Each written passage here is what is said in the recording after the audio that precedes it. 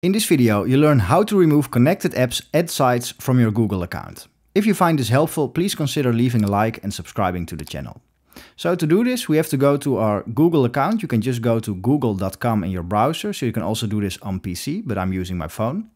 Go to, to the top right and click on your profile picture. Then once you're in here, click on manage your Google account.